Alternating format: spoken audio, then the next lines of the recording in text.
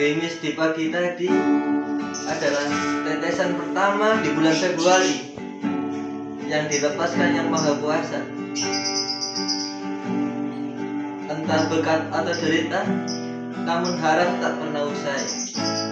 Kau harapan pada Februari yang, di, yang diciptakan untuk damai, dan terdengar bisikan daun-daun yang hijau. Apalagi yang bisa ku reta-reta hari ini selain bahagia Thank you.